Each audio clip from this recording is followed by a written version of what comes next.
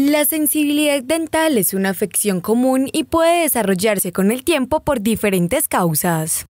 La sensibilidad dental se genera básicamente porque nos estamos exponiendo diariamente a diferentes factores externos que nos pueden generar dolores o molestias en los dientes. Se puede dar por alimentos, por cepillado, por manera de morder o de ocluir. Esto ocurre cuando la parte interna más blanda de los dientes, denominada dentina, queda expuesta. Preste atención a las recomendaciones por parte de los profesionales. Eso todo depende del pH de los alimentos.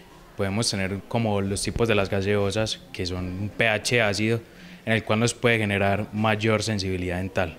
También tener en cuenta que las, las cremas dentales que vemos en redes sociales, que nos ayudan a blanquear los dientes, por el contrario nos está causando un, daño y nos causa más sensibilidad dental. Hay cremas que por sí tienen un grano, microscópicamente tienen un grano más fino o más grueso, eso pues va a generar también un poco de desgaste sobre el diente y también más allá de eso también es el cepillado o el tipo de cerdas que utilizan en el momento de comprar un cepillo, que deben de ser suaves en general, ¿para qué? Para que el paciente cuando se cepille pues no genere una lesión muy fuerte, porque a veces son muy agresivos al momento del cepillo y generan lesiones que van a producir una sensibilidad.